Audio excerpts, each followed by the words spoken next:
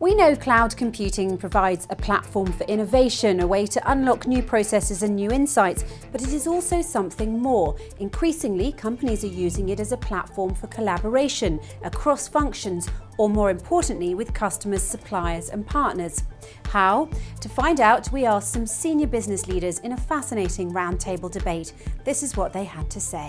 We have a unique business because we are a startup business. We wouldn't exist if cloud wasn't there, or at least not exist the way we are today. We are in the veterinary space in the US. For an any FDA approved product, you need to go through the regulatory approval.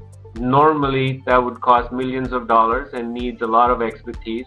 For us to be able to leverage consultants in a way, in a collaborative way, we're not only having one consultant, but having a quality organization, work with a consultant, work with our contract manufacturer in a way that they could share information seamlessly and be able to deliver a regulatory approval to us in, in about a year and a half. Our whole business is based uh, around uh, around cloud applications, and it's uh, it's a it's an application uh, that that uses cloud technology to help marketing and salespeople collaborate in a much more effective way. So uh, a bit bit like uh, Sandeep, our business wouldn't exist if uh, if cloud wasn't there. I was in in uh, medical devices for about 16 years, and it always seemed to be a struggle between sales and, and marketing. You know, there was you know, we were lo- lobbing stuff over the wall uh, per se and uh, hoping that the salespeople would catch it and not having any idea what they were doing. And cloud now plays a, a great role in that because it allows us to be instantly connected uh, with those people and uh, also capturing information as uh, as they're using those cloud uh, sources and, and, cloud apps.